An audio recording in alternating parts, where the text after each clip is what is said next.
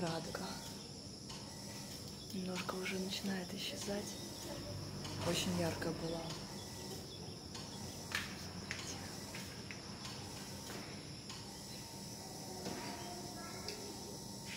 Вот это доброе утро.